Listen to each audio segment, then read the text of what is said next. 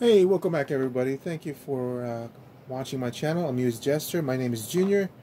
Um, today what we're going to be doing is um, presenting how I feel and my final reactions and thoughts about this product.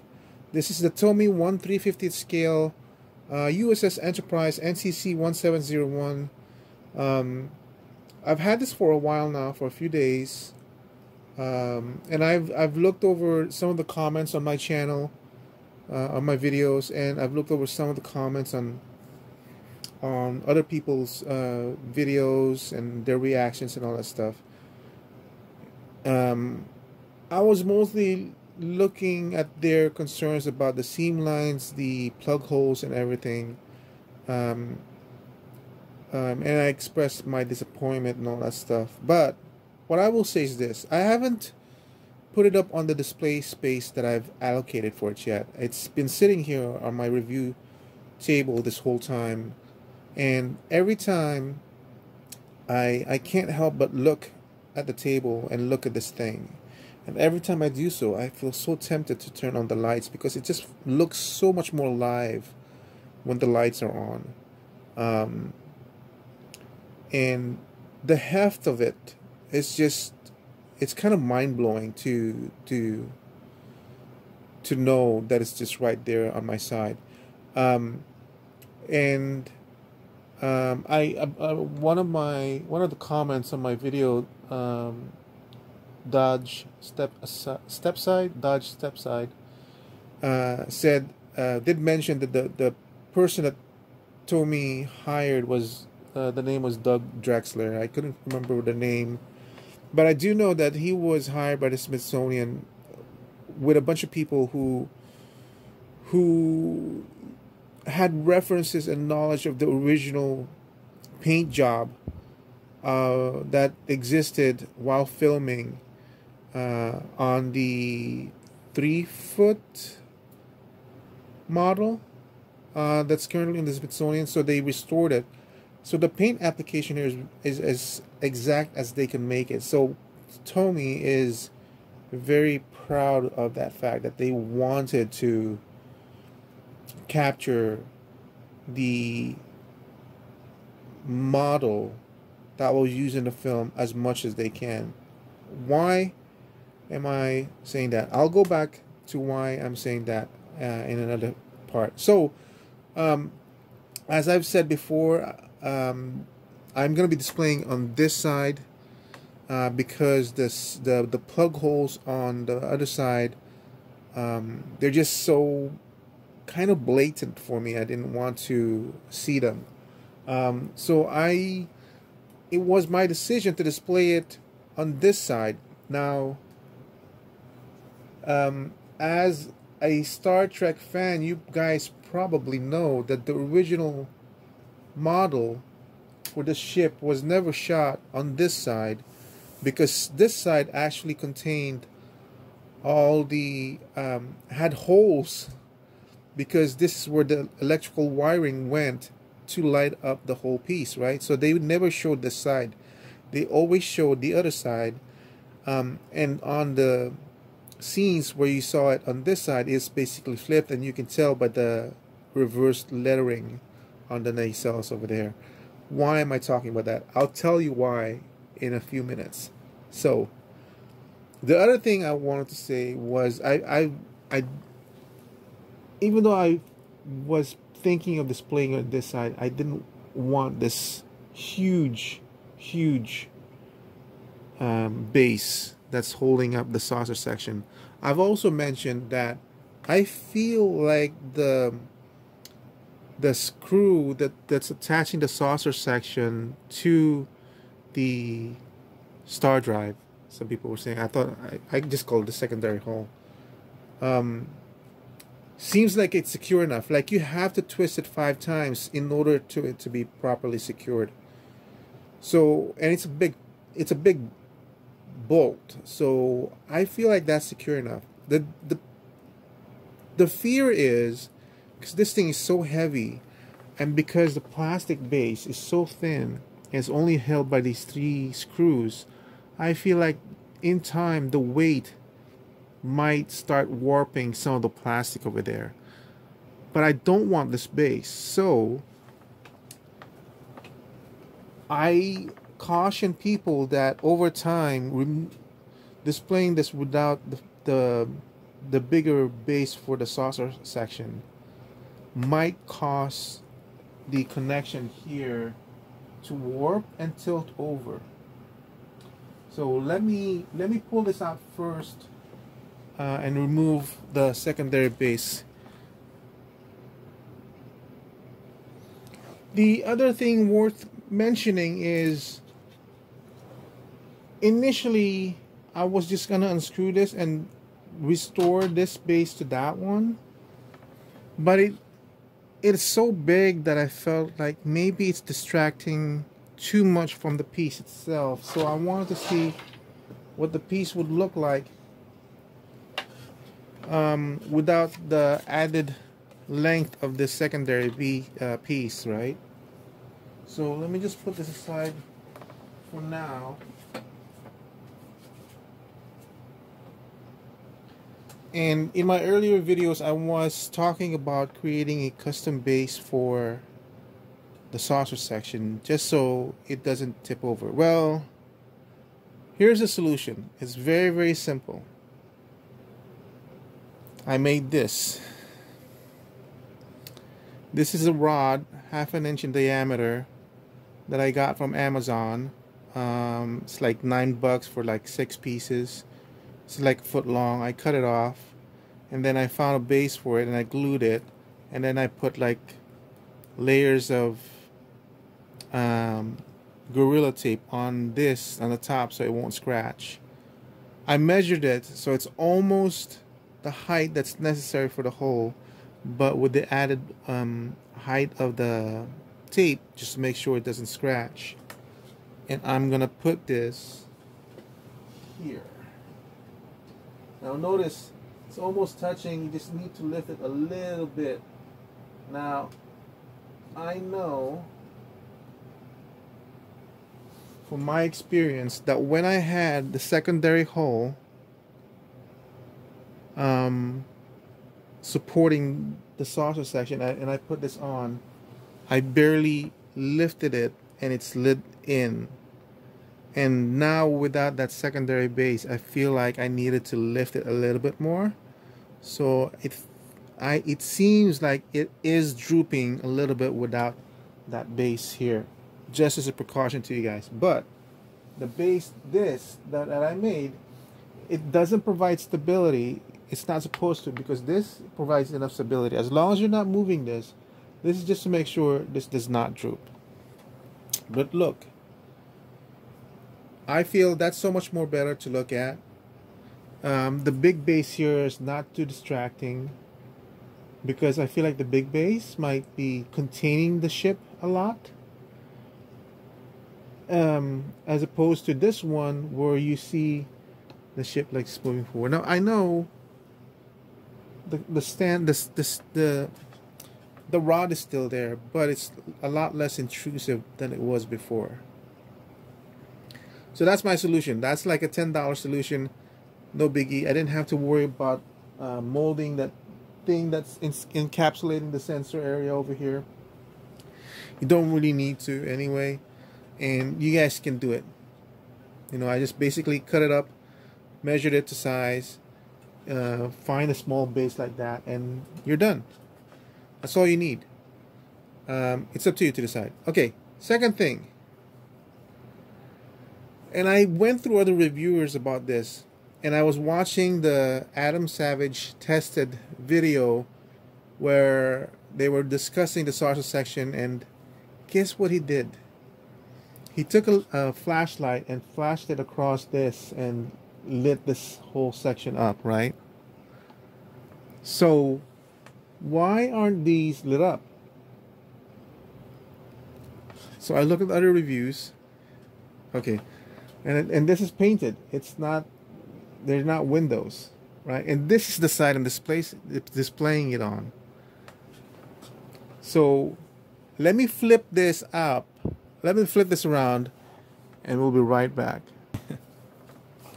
Remember when I said This is the original side that you see that the, the, the, the model was made for to be shot in and the other side was not meant to be seen because that's where the connecting cables for the lights were going. I said that right? Do you notice these lights now are now lit up?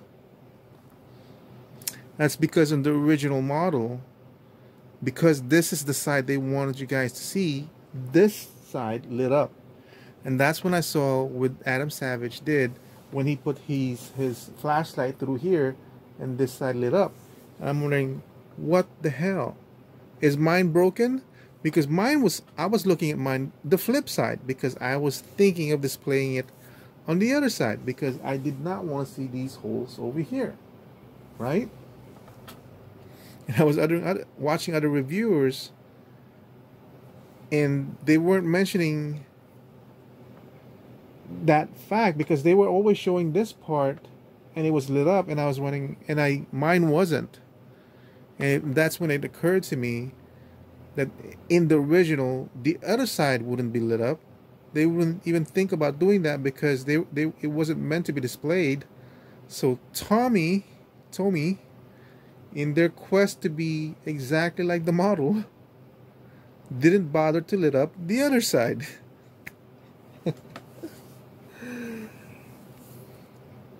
So now,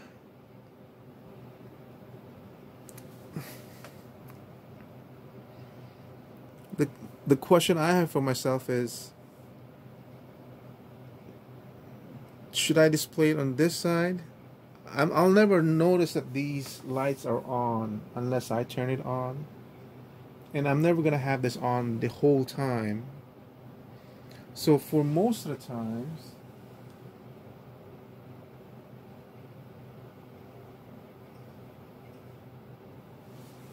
it's gonna be like that. So I don't know. That's the decision I'll have to make. Whether if it's I feel like I can overlook the holes here and have it displayed like this because you know when I turn it on that does having those sides lit up is something I might want to see you know, just to fully experience what the ship is like, supposed to be. But anyway, that's that's one thing that you guys. Uh, those are the two things I I wanted to show you guys. Was this side is lit up. If you want to, you can customize your base so you can remove that and have a pole over there. It is drooping a little bit when you remove the big pole, the bigger stand. So you do need this over time if it's drooping, then it's putting some stress in some of this. So you do need something to support it over there. And it's a $10 fix. So you guys decide whether you want to do it or not. Um, how do I feel about it? I like it. Um, it's disappointing. I'm more disappointed about the company rather than the product itself because I feel like it's still worth the money. It's a die. It's a fully die cast piece. Um, and I've said before, if you buy the Polar Lights kit model, it's a hundred and ten dollars. So it's the cheapest one I was able to find. And then the Polar Light Kits kit, lighting kit, is another hundred dollars. And then the painting, and then putting it together, and then sanding it. Uh, if you knew how to do that, right? The the talent, the time, the the man hours you're gonna put in there, six hundred dollars. It's, I think it's a pretty good value and even if you did do that kind of stuff, it'd still be made out of plastic and you still have to worry about the nacelles drooping over time. This thing is never going to droop. It's, it's die cast. The plastic won't go brittle in time. This thing will just stay as a die cast piece. It will stay like this, you know, for as long as you probably live. So I'm happy with the purchase. Um, like I said before, if Tomy does offer the refit, um, I'll buy it. I'll probably just buy the one instead of buying the two. I feel like the second one, I, I'll keep it for now. I'll keep it in the box. I won't open it, and I'll probably sell it because I, I feel like it might go up in value. Here's another thing. This is a crowdfunded project, and I think there are a lot. There were a lot of people that canceled their pre-orders um, once Tomy announced that they are unable to cover up the seam lines and the holes. So obviously they already create um, they already had those products in hand. But usually on a crowdfund, um, you don't get a chance to purchase extras. Um, they might have a few because of uh, if there's any replacements that they need to do, they'll they usually produce like a five percent extra, and they might sell those off on special occasions. But because of those cancellations, now there's like a lot more inventory, I think, than the usual five percent. And I know that there's another YouTuber who mentioned that they purchased a second piece from Tomy after he had received the first one. So he that means he purchased it outside of the crowdfunding window. Um, his name was The Outsider. That's his YouTube channel, uh, and it just arrived. So, it kind of makes you wonder because the second crowdfunding project that Tomy did is the Back to the Future, and and the model that they use for that the model of crowdfunding they use in that one is that within the time frame of the crowdfunding, you only get a certain discount, and after that they'll put it on retail at a higher price. I really, really hope that Tomy will stick to their promise this time. That once the 2500 or 2600 has been sold off, the molds are destroyed because that's what they said. They'll never make more right? Um, it'll be, and if they did, it'll be a completely different thing.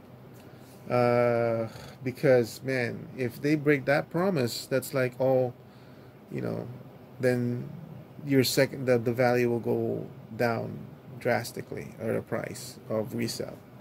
Anyway, it's a it's a a little bit of thing that I just found out is including the, the lights that I feel like you know I want to share with you guys. Initially, I just want to make this video because I I I did wanted to make clear that even though I was disappointed by the fact that the seams are still there and I have to display this at a certain point, uh, a certain angle, a certain side, I still uh, am happy or content with the purchase of the product. It's the second one that I'm, I'm kind of iffy about whether I should have uh, canceled that or not. But I'm too lazy to cancel it, and to you know I don't really care about the hassle of going through the cancellation. I just kept it and hope that the price will sell, will go up in the future. Um, I'll just keep it for now in box, and then if they make the refit, hopefully that will make enough profit so I can purchase the, the refit at a lower price. Um, but I, you know, this one I'm keeping. Uh, and I'm I'm pretty happy with with it. It's just it's a beautiful piece to look at. If you look at it, it's a beautiful piece. You can't believe it's an actual copy of the model of the Enterprise. And then when you lift it, you're just like blown away by the fact that it's so heavy. And and you know its quality. The I haven't seen um, a whole lot of things that I want to um, feel like it's there's an issue of quality control. I haven't seen any of that. Um, I the only thing I might say is these streaks that they use, uh, even in the saucer section, I keep looking at the one at the Smithsonian, and they don't seem as prominent as these are. Um, that's the only thing uh, on the paint job that I'm I'm not too thrilled about. Uh, I don't know how accurate that is. I mean, you know, what, it's not it's not like it was done by artisans, right? They, they these are still kind of mass produced at, at over two thousand pieces, so. Uh, but but yeah, I I'm I I like it. And there's no regrets for me to keep this one. It's just the second one that I I'm still not sure of. But this first one, uh, I'm I'm still very very happy with how it turned out. So, thank you for watching. I hope that trick helps you out. Um, and I'll see you guys on the next review. Goodbye.